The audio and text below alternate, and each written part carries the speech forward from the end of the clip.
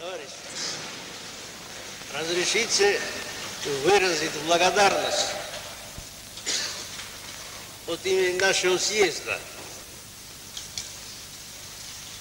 всем братским партиям и группам, представители которых почтили наш съезд своим присутствием,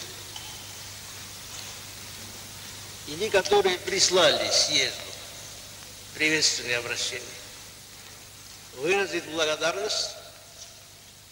The 19th Congress was held in Moscow from October the 5th to October the 14th, 1952. It elected a new composition of the Central Committee of the party. In order to understand why history has confirmed exactly the capitulatory, self-liquidating essence of the CPSU, one should turn to a little-known episode from the activities of the Central Committee elected by the 19th Congress. After the Congress, on October the 16th, a plenum of the Central Committee was held. J.V. Stalin spoke at the plenum. His speech was unexpected for the plenum participants, not in the sense that no one expected the party leader to speak at the plenum, but in terms of its content. This speech by J.V. Stalin threw the plenum into a stupor. There were two reasons for this. Firstly, J.V. Stalin directly warned the members of the Central Committee about the readiness to betray the cause of Spravedlivosť to bourgeois degeneration and to collusion with imperialism, of those whom the crowd considered to be his closest, most faithful companions, and in some cases, his successors. So, J.V. Stalin directly expressed his distrust of V.M. Molotov and A.I. Mikoyan. Secondly, J.V. Stalin told the members of the Central Committee about what they should have guessed themselves that he was already old and tired, and therefore the time would come fairly soon when he would not be able to lead the party and the state, as a result of which it was necessary to think in order to elect in advance another person to the post of General Secretary of the Central Committee of the governing party. This notification of the content of the speech of J.V. Stalin could have been limited and could have proceeded to further consideration of the problematics.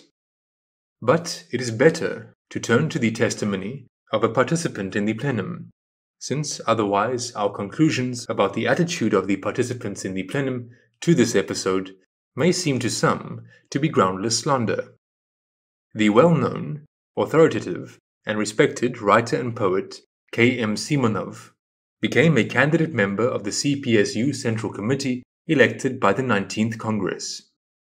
In his memoirs, recorded on a tape recorder in the hospital shortly before his death, deciphered and published under the title Through the Eyes of a Man of My Generation after his passing away, he, referring to one of his diary entries, reports the following about the plenum on October 16, 1952.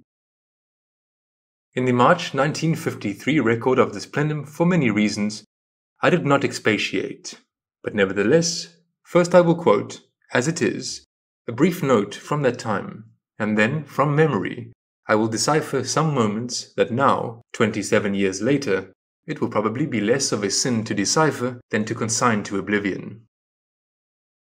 Although, we note, it was a sin to keep silent about this plenum throughout the entire Khrushchev Brezhnev era, Back to the quote. Here is this entry in its original form. Naturally, I have no right to record everything that happened at the plenum of the Central Committee, but without touching on the questions that were raised there, I still want to record some details. Our note. During the years of the existence of the USSR, there was the concept of party secret. Some issues of the life of society and the state were considered at the so-called closed party meetings and sessions of plenums and congresses. Non-party members were not allowed to attend closed meetings, and the materials of closed meetings, plenums, and meetings of congresses were not published in the media. Back to the quote. When the plenum began at exactly the appointed moment, everyone was already sitting in their places, and Stalin along with the rest of the members of the Politburo, having come out of the back door, began to approach the presidium table. Those gathered in the Sverdlovsk hall applauded him. Stalin entered with a very professional, serious, concentrated face, and, having quickly glanced around the hall, made a very short but powerful hand gesture from his chest in our direction. And in this gesture it was expressed that he understands our feelings towards himself, and that we must realize that this is a plenum of the Central Committee, where we should get down to business. One of the members of the Central Committee, speaking at the rostrum, said at the conclusion of his speech that he was a devoted disciple of Comrade Stalin. Stalin, listening very attentively to this speech, sitting behind the speakers in the presidium, briefly replied, We are all students of Lenin. We note that this is about the issue of how the personality cult of J.V. Stalin was created over the course of decades. Speaking himself, Stalin, talking of the need for firmness and fearlessness, spoke about Lenin, about the measure of fearlessness displayed by Lenin in 1918. What an incredibly difficult situation was then, and how strong the enemies were. And what about Lenin? asks Stalin. And Lenin? Reread what he said and what he wrote then. He thundered then in this incredibly difficult situation. Thundered, was not afraid of anyone. Thundered. Stalin repeated this word twice or thrice, over and over again. Thundered. Our note J.V. Stalin recalls the time when the conflict, Bolshevism and socialism in one country on the one side, world behind the scenes and world revolution on the other, was the most acute. The situation in 1918 was qualitatively in many respects analogous to the situation in 1952. Back to the quote. Then, in connection with one of the questions that arose at the plenum, it was the question of the removal from J.V. Stalin of part of his official duties.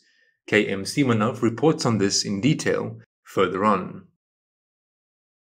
Speaking about his duties, Stalin said, Since I was entrusted with this, then I do it. Not so that it will be written after me that I did it. I was not brought up like that. He pronounced the last part very sharply. What happened, and what was behind this short note I made in 1953? I will try to recall and explain to the best of my understanding. I do not want to take a sin unto my soul and try to restore those details of what happened at the plenum which I remembered, but at the time did not write down. I will only speak about what really engraved itself in my memory and remained in it as a difficult and even tragic reminiscence.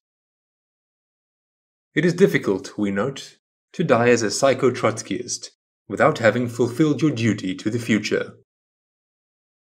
The entire plenum lasted, as it seemed to me, a little over two or two hours, of which Stalin's speech took about an hour and a half, and the rest was taken up by the speeches of Molotov and Mikoyan, and the elections of the executive bodies of the Central Committee that ended the plenum.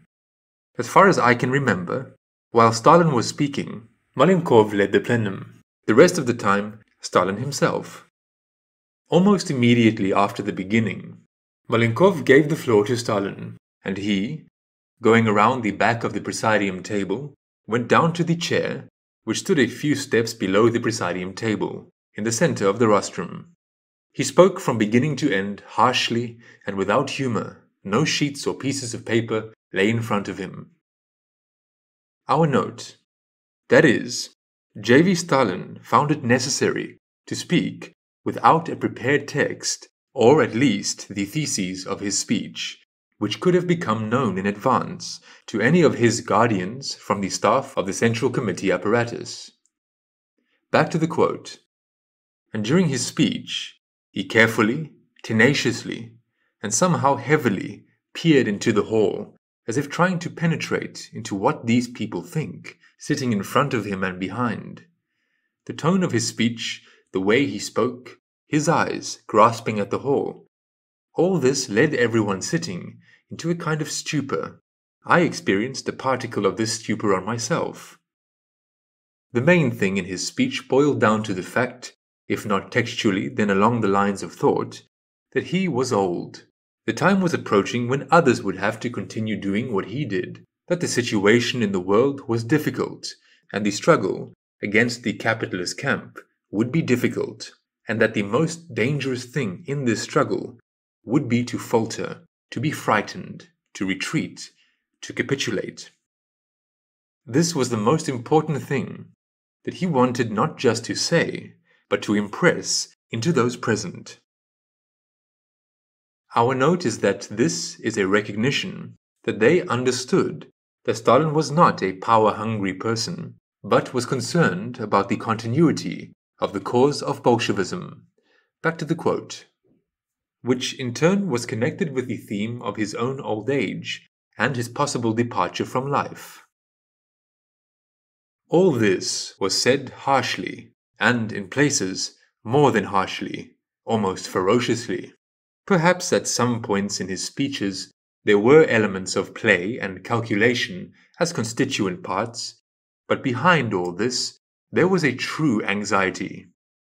Our note is that this is another admission that Stalin was sincere in his concern for the future and was not a power hungry person. Back to the quote, which was not devoid of a tragic background. It was in connection with the danger of concessions, fear, and capitulation that Stalin appealed to Lenin in those phrases that I already quoted in my entry at that time. 1953, with which we began quoting the memoirs of K. M. Simonov. Now, in essence, it was about himself, about Stalin, who may leave, and about those who may remain after him. But he did not talk about himself. Instead of himself, he talked about Lenin, about his fearlessness in the face of any circumstances. The main feature of Stalin's speech was that he did not consider it necessary to talk about courage or fear, determination or capitulationism. Everything that he said about these qualities he connected concretely to two members of the Politburo who were sitting right there, in the room, behind his back, two meters from him. To people about whom I, for example, least expected to hear what Stalin said about them. First, with all this synodic of accusations and suspicions, accusations of instability, suspicions of cowardice, capitulationism, he fell upon Molotov. It was so unexpected that at first I could not believe my ears. I thought that I had misheard or not understood. But it turned out that this was exactly the case. It followed from Stalin's speech that the person most suspected by him of the capability of capitulationism, the person most dangerous in this sense for him that evening at that plenum, was Molotov. Not any other person, but Molotov. He spoke about Molotov for a long time and mercilessly. He cited some examples I did not remember of the erroneous actions of Molotov, connected mainly with those periods when he, Stalin, was on vacation and Molotov remained in his place and incorrectly resolved some issues that it had been necessary to resolve otherwise. Which I don't remember. I don't remember, probably partly because Stalin spoke to an audience that was more aware of the political intricacies associated with these issues than I was. I didn't always understand what it was about. And secondly, probably because the accusations that he presented were somehow incomplete, unclear, and vague. In any case, in my perception, it seemed to be so.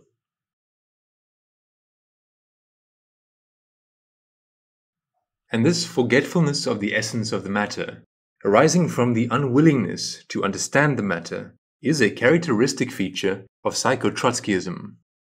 It is not the content and not even the form of presenting information, not the meaning of what is said, that is remembered, but the emotional impression of what happened, conditioned by one's own nraviousness first of all, and not events as such.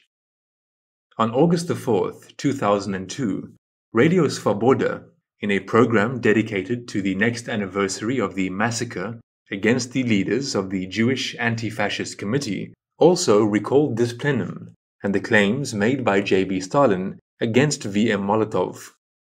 According to Radio Svoboda, among these claims was the accusation that following the lead of his wife, P.S. Zhemchuzhina, V.M. Molotov in certain circumstances became a conductor of Zionist, i.e., inter-Nazi politics in the top leadership of the USSR. This message from Radio Svoboda, taking into account the fact that the intelligentsia of the USSR, for the most part, and K.M. Simonov personally were always very attentive to the Jewish question, suggests that in this case we are dealing not at all with the forgetfulness of K.M. Simonov, but with his unwillingness to go into details. We return to the quote. I could simply not understand in what Molotov was to blame. I only understood that Stalin accused him of a number of actions in the post-war period, accusing him with anger of such intensity, which seemed to be connected with a direct danger for Molotov, with a direct threat that those final conclusions, which, recalling the past, could have been expected from Stalin, would be made. In essence, the main content of his speech, the entire system of accusations of cowardice and capitulationism and calls for Leninist courage and inflexibility, Stalin concretely attached to the figure of Molotov. He was accused of all sins that should not have a place in the party when the time would come and Stalin would cease to be the head of the party. If J.V. Stalin had been mistaken in his description of V.M. Molotov then, a few years later, Molotov would not have turned out to be a member of the anti-party group, consisting of Molotov, Malenkov, Kaganovich, and Shepilov who joined them later, who allegedly opposed Khrushchev's policy of resuming the Leninist norms of party life, and wanted to restore the order in the party and the state that existed under Stalin. K.M. Simonov, however, does not recall this. If J.V. Stalin had been mistaken in his description of V.M. Molotov, then Khrushchev, Malenkov, and Marshal of the Soviet Union Zhukov, who joined them later, would have been part of the neo-Trotskyist anti-people group.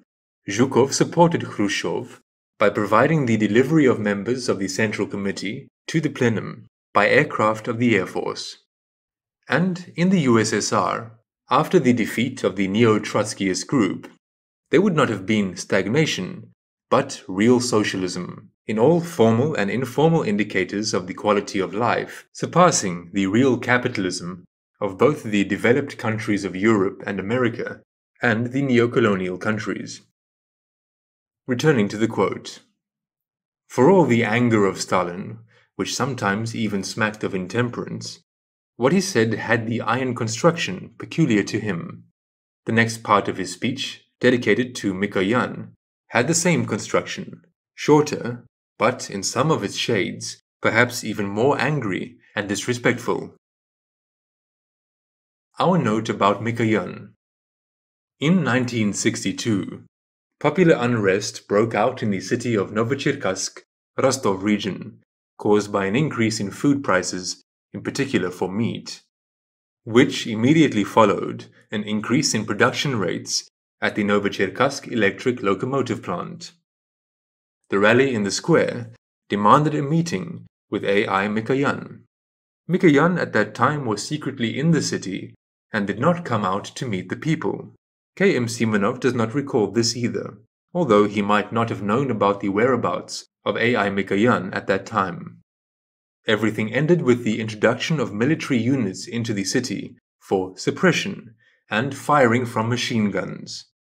There were victims. After the rally was dispersed, the ringleaders were arrested, brought to trial, and shot. Alexander Ivanovich Lebed, as a teenager, was sitting in a tree during the rally. When the first machine gun fire was heard, other teenagers sitting on the same tree as Alexander, a branch above and a branch below, fell dead from the tree. Alexander flew from the tree safe and sound, but he remembered this episode for the rest of his life. He remembered it also in August 1991, for which Muscovites should be grateful to him. As for the rise in prices in the post-Stalin era, prices in the national economy decrease as the range of production grows and needs are satisfied, as was accomplished under J.V. Stalin. In an anti-people economy, prices rise regardless of the dynamics of the range of production, since a rise in prices devalues wages, pensions, savings, and thereby puts everyone who lives by their own labor into a personal slavery dependence on the owners of the system. In accordance with this circumstance, in relation to Y.T. Gaidar and the Union of Right Forces as a whole, A.B. Chubais, V.S. Chernomyrdin, A.Y. Lifshitz, and many, many others, it is better to keep silent, rather than to say that they are the true spokesmen for the democratic idea. We return to the quote. There was a terrible silence in the hall. I didn't look back at my neighbors, but I did see the four members of the Politburo sitting behind Stalin at the podium from which he spoke. They all had petrified, tense, motionless faces. They did not know, just like us, where and when and at what point Stalin would stop, whether he would move on to someone else after Molotov and Mikoyan. They did not know what was yet to be heard about others, and maybe about themselves. The faces of Molotov and Mikoyan were white and dead. These faces remained the same white and dead once Stalin had finished and returned to sit down at the table, and they, first Molotov, then Mikoyan, went down one by one to the podium where Stalin had just stood. And there, Molotov for longer, Mikoyan shorter, tried to explain to Stalin their actions, deeds, to justify themselves, to tell him that they were never cowards nor capitulators and would not be afraid of new clashes with the capitalist camp and would not capitulate to it. And these attempts at self-justification by Molotov and Mikoyan are common civility.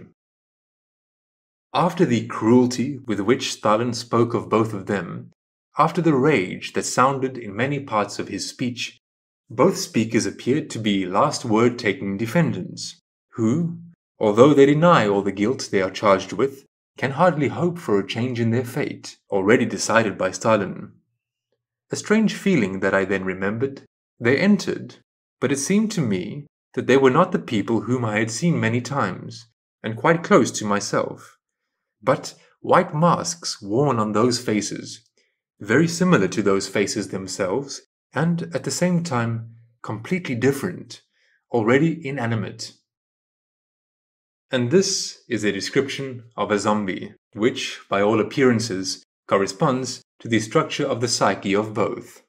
The person himself is responsible for his own psyche structure, and not someone else. If both are zombies, then it is themselves who are to blame, not J.V. Stalin. I do not know if I have expressed myself accurately enough, but I had such a feeling, and I'm not exaggerating it in hindsight. I don't know why Stalin chose Molotov and Mikoyan as the two main objects of his mistrust in his final speech at the plenum of the Central Committee. The fact that he clearly wanted to compromise both of them, to belittle, to deprive the halo of some of the first historical figures to come after him was beyond doubt. He wanted to belittle them, especially Molotov, to nullify the halo that Molotov had.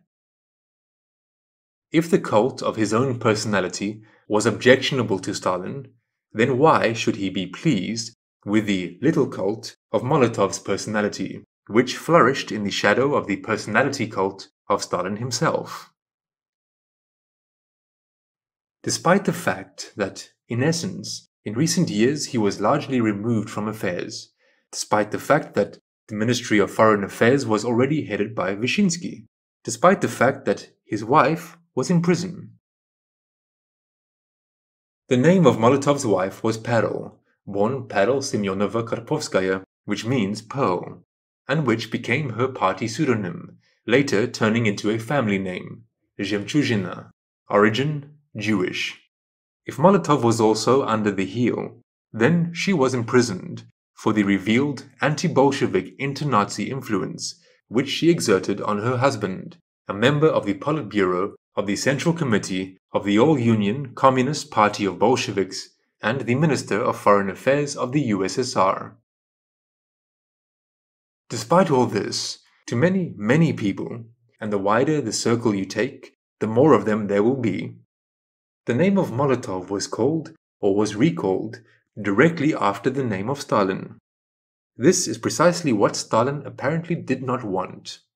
He strove to make this understood and felt to everyone who had gathered at the plenum, to all old and young members and candidates of the Central Committee, to all old and new members of the executive bodies of the Central Committee who had yet to be elected.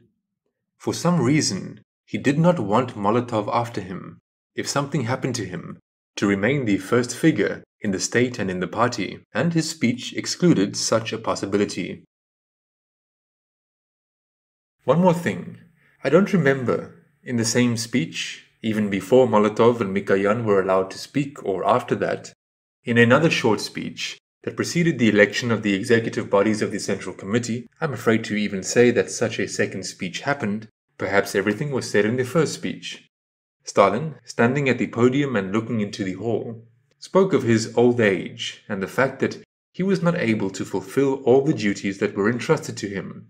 He can continue to carry out his duties as chairman of the Council of Ministers. He can fulfill his duties, leading, as before, the meetings of the Politburo.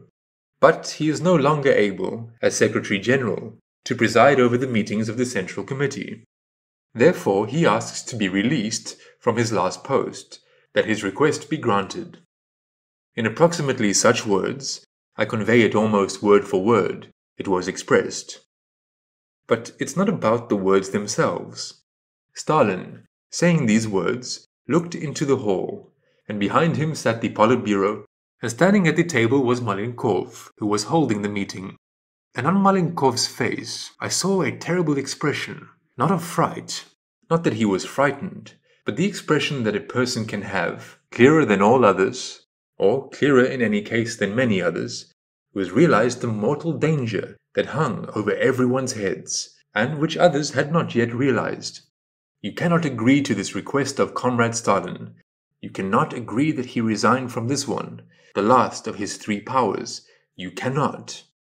Malenkov's face, his gestures, his expressively raised hands, were a direct plea to all those present to immediately and decisively deny Stalin his request. Our note Malenkov subsequently somehow overlooked, sensed something in the wrong way, and ended up in the anti-party group, together with Molotov.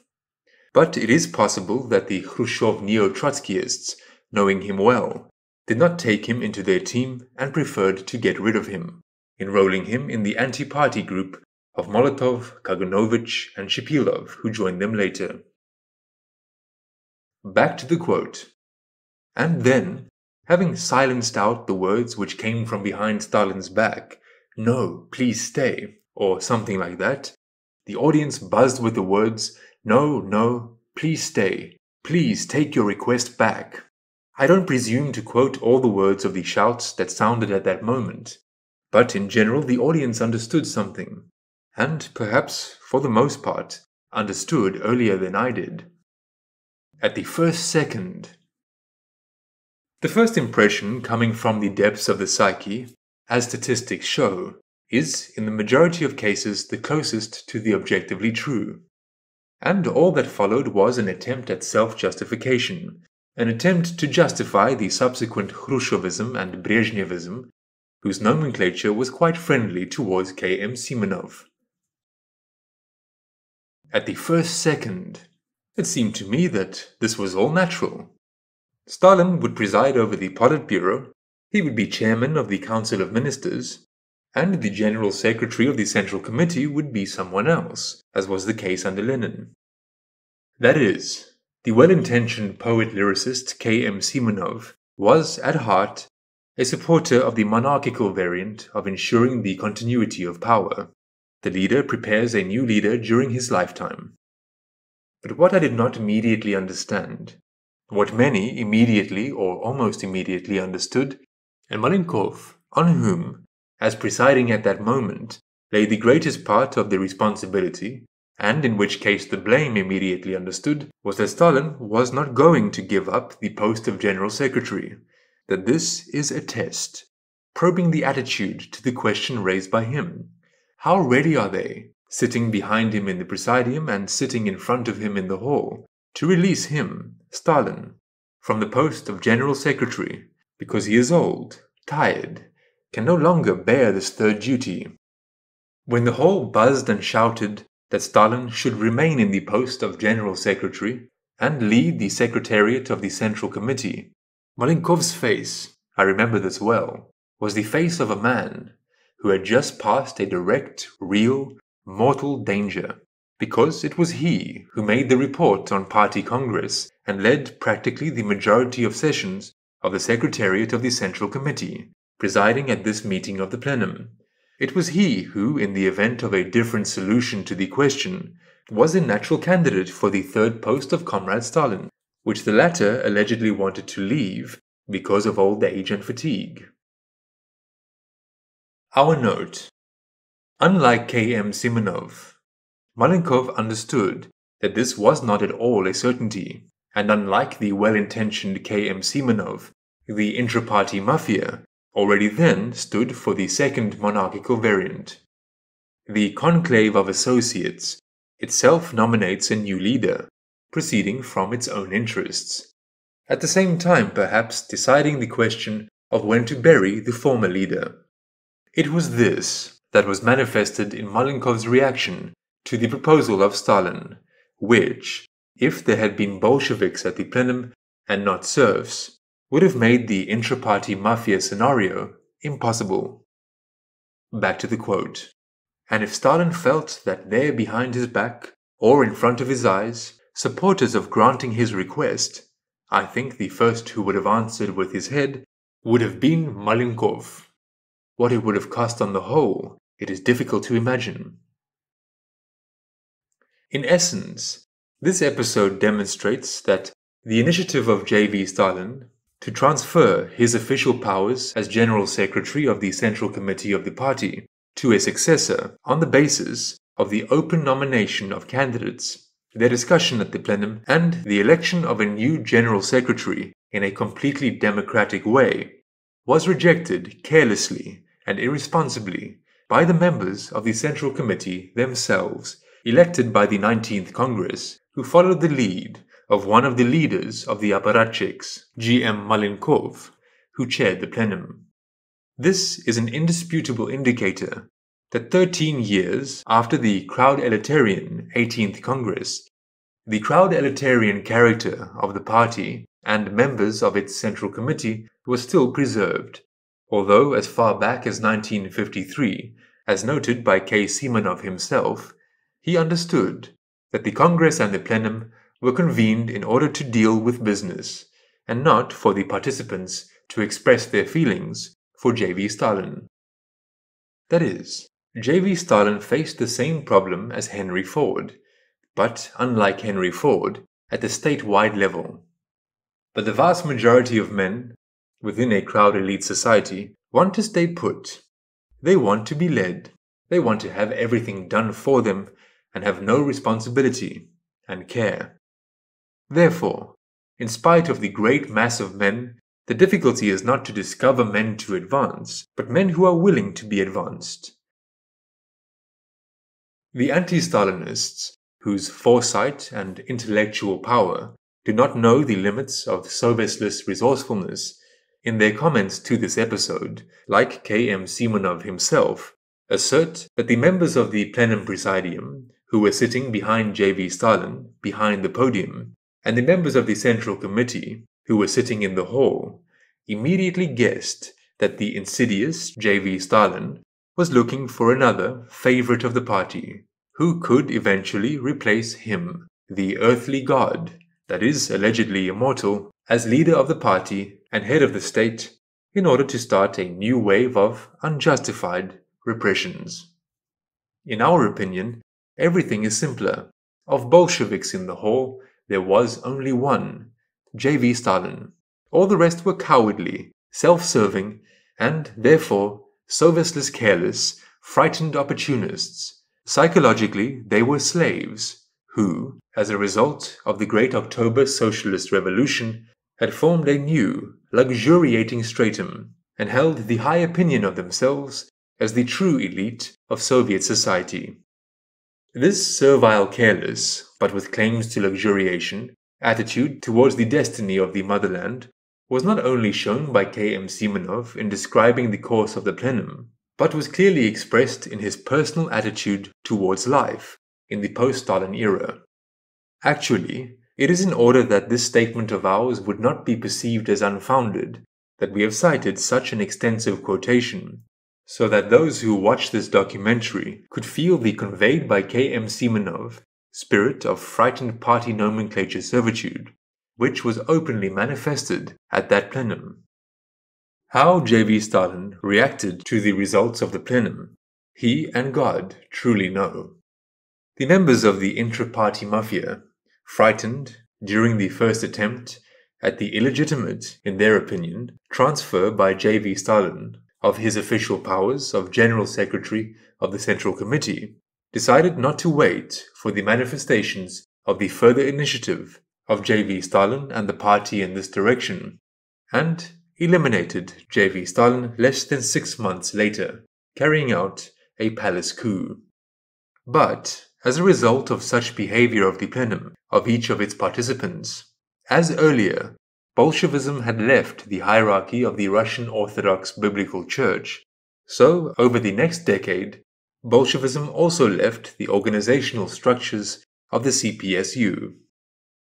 Bolshevism truly left the organizational structures of the CPSU, but did not disappear from society, and it will not enter the organizational structures of any other party the organizational principles of building of which impede the personal development of the individual.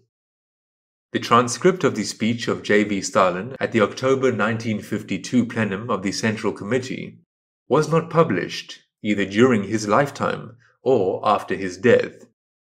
Largely thanks to this, it was possible to maintain in society the myth of the dictatorial omnipotence of J.V. Stalin and his thirst for power for the sake of power. Some might think that J.V. Stalin himself did not want to publish his speech at the plenum. However, such an assumption implies that J.V. Stalin himself was a capitulator, a coward. That is, it is incompatible with the testimony of K.M. Simonov about what happened at the plenum. Much speaks to the fact that J.V. Stalin throughout his career as party leader and head of the state, was heavily encircled by the apparatus mafia, which used his name and the slogans of socialism and communism as a cover in its self-serving activities.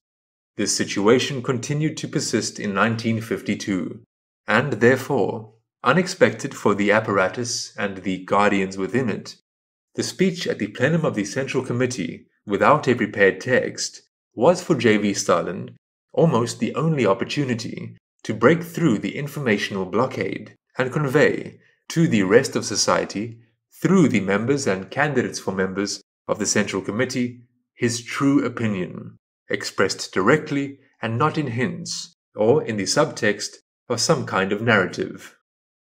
However, out of several dozen participants in the October 1952 plenum of the Central Committee, this, and what is more, 27 years later, was done only by K.M. Simonov, and even then on his deathbed, not wanting to leave for another world with his sin on his soul, with the sin of hiding in his servile silence the truth, known to him, but concealed from the rest of society by the mafia power.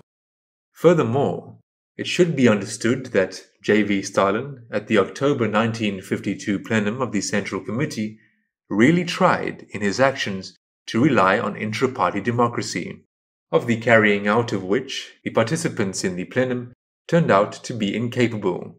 And he did not only wish to express some thoughts on the assumption that the delegates would spread them throughout the Union. He needed an irreversible result in the life of the party itself, and not just for his words to be spread by delegates to all ends of the Union, where they would not entail any consequences, and would soon be forgotten under the influence of the current events. Therefore, a speech similar in content at one of the sessions of the 19th Congress, which, as it might seem, could solve the problem of disseminating information within society better as a consequence of the large number of participants in the Congress, was not suitable for Stalin's attempt to rely on real intra-party democracy. Suppression of the individual by the psychological effects of herdness in a larger Congress audience would have been stronger. The relatively small audience of the plenum was more suitable for awakening the political will of the people, and the informal, coming from the people, Bolshevik power of ordinary party members over the apparatus would finally emerge in the party. Unfortunately, this did not happen. Concerning the possibilities of J.V. Stalin's speeches in the press, however, there was a multi-level system of self-censorship of the crowd elite society, from direct administrative bans and direct mafia collusion of the periphery of the world behind the scenes, to pressure on the psyche of individuals by herd effects generated in society by the cult of Marxism and the personality cult of J.V. Stalin himself in which false ideas about the latter were formed. Stalin had no power over this multi-level system of censorship, and therefore was forced to adapt to it and bypass it and all the rest in his public activities. The difference in this adaptability to the system between J.V. Stalin and most other opportunists was that J.V. Stalin adapted to it, orienting on the strategy of transforming the life of the global civilization on the basis of the ideals of a previous community of free people, communism, while the majority of opportunists solved the selfish tasks of today and of the near future, as a minimum of their own survival in the system and as a maximum of joining the systemic elite on the basis of suppressing the lives of others. A society of a previous community made up of scoundrels. This is a preemptive characterization by V. O. Kluchevsky about the attempt to introduce into the organizational forms of socialism a multitude of carriers of crowd elite algorithmics of the psyche. It is useful to remember this whenever it concerns all kinds of abuse of power in the era of Stalinist Bolshevism. Stalin's lack of freedom in the opportunity to appear in print is also confirmed by the history of the termination of the publication of his collected works. From 1945 to 1951, the first 13 volumes were published, including books written by him, articles and texts of oral presentations up to 1934 inclusive. However, the preparation for the publication of the 14th to 16th volumes proceeded so slowly that it can be considered that in fact the publication of the collected works of J.V. Stalin was terminated in 1951, even during the life of the allegedly omnipotent dictator.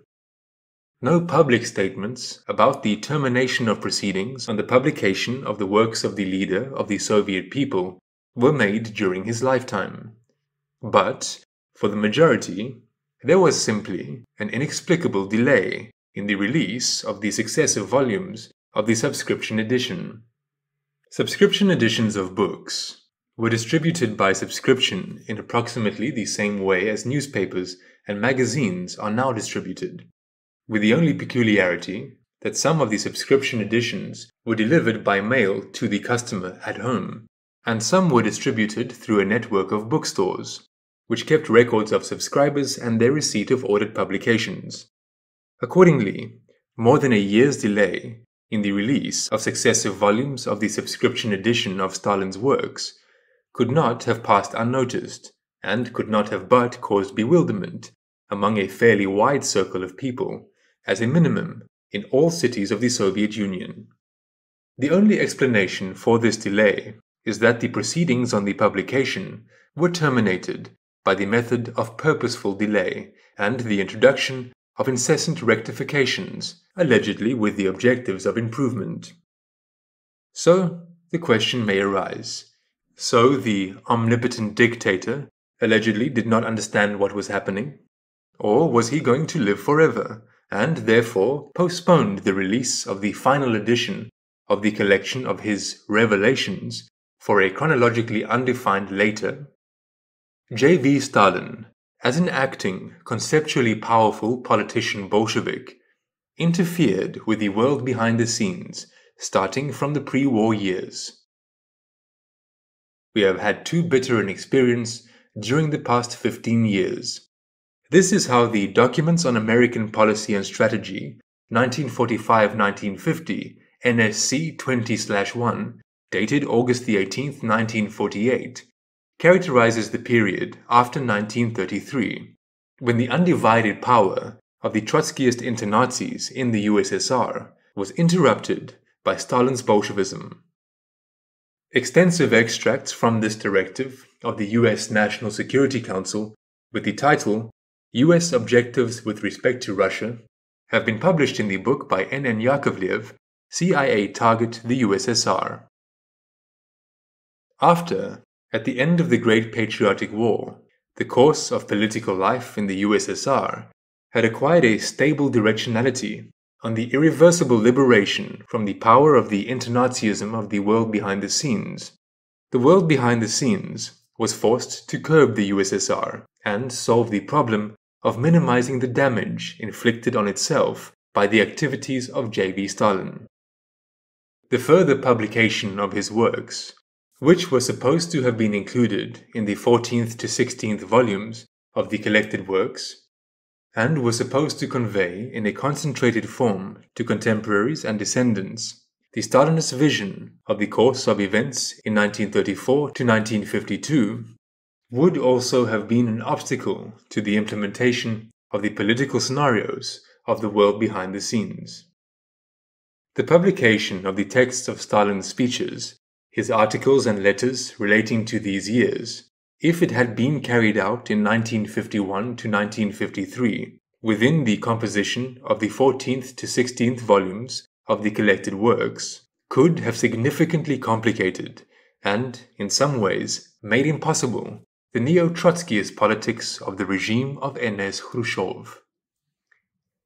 The newspaper St. Petersburgsky Vedomosti, dated 10th of March 1992, in the article the CIA had plans to assassinate the father of nations, with reference to the book of the American historian Burton Hersh, The Old Boys, the American Elite, and the Origins of the CIA, informed that the plan of the assassination of J.V. Stalin was approved by the CIA director Allen Dulles in 1952.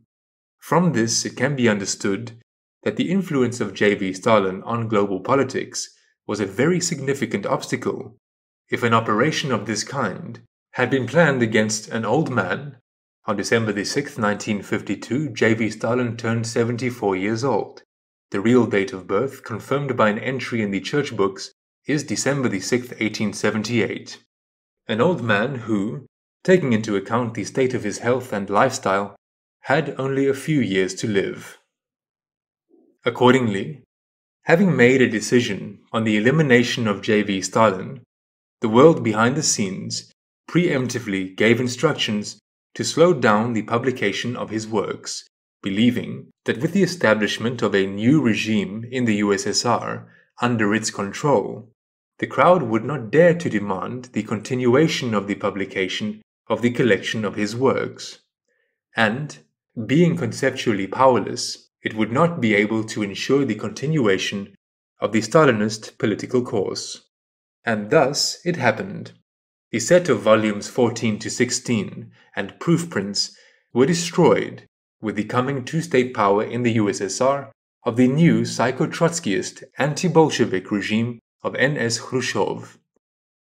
And the question of continuing the publication of the works of J.V. Stalin, as far as is known, at the plenums and the congresses of the capitulatory party for the self-liquidation of socialism did not rise nor was it posed by the general public. In the USSR, only pro-bourgeois individualistic dissidents from the category of low worshippers of the West were active. Therefore, In reality, nothing speaks to the fact that in 1952, J.V. Stalin was able, bypassing the not subject to him hierarchically multi level self censorship of crowd elitism, directly tell society, through the mass media of the USSR and the scientific press, what he thought, including the giving of instructions to publish in newspapers and magazines his speech at the October plenum of the Central Committee, or some other speech, the meaning of which was beyond the ability of society to adequately perceive. K.M. Simonov was one of the most widely erudite cultural figures of the USSR, in many cases an independent, not stereotypically thinking person.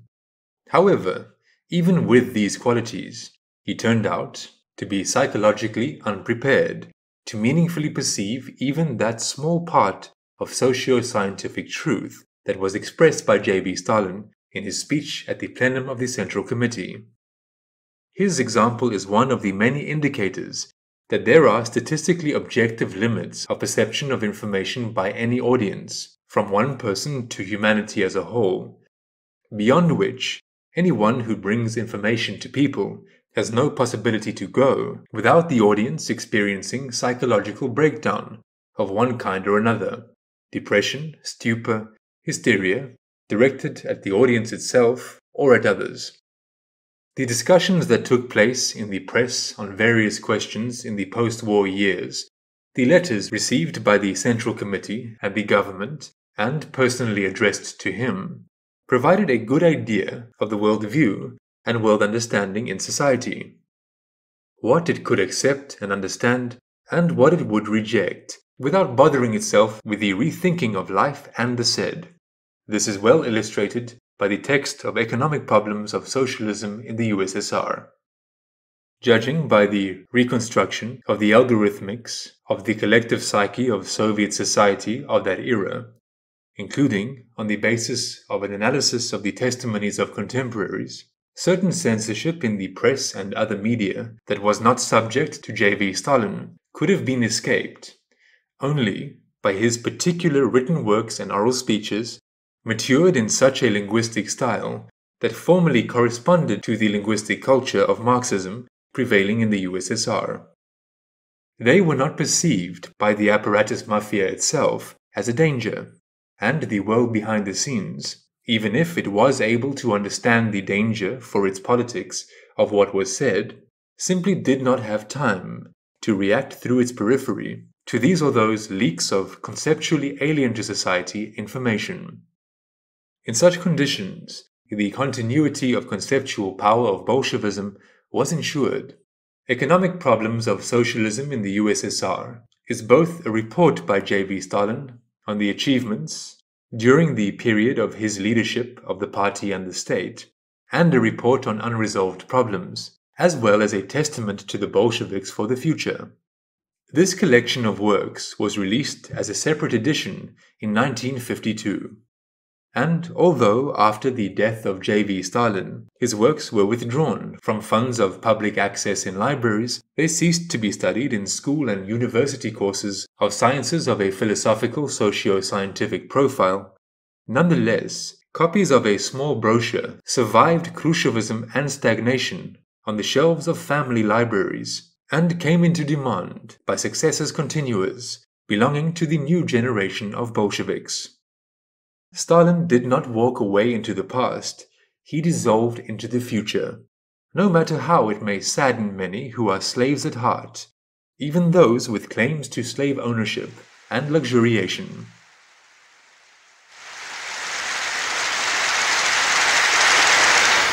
Да здравствует мир между народами.